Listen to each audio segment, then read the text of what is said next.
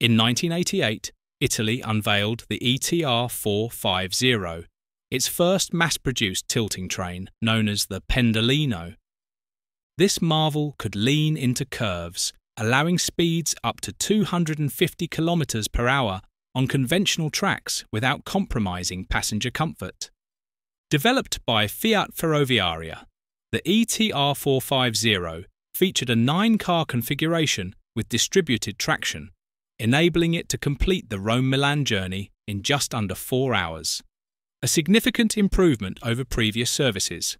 However, by 2004, maintenance challenges led to the deactivation of its tilting mechanism, reducing its top speed to 200 km per hour. The ETR 450 was officially retired in 2015, marking the end of an era in Italian high speed rail. Yet, its legacy lives on, influencing subsequent Pendolino models and high speed trains worldwide. Enjoyed this glimpse into rail history? Don't forget to like, share, and subscribe for more fascinating train tales.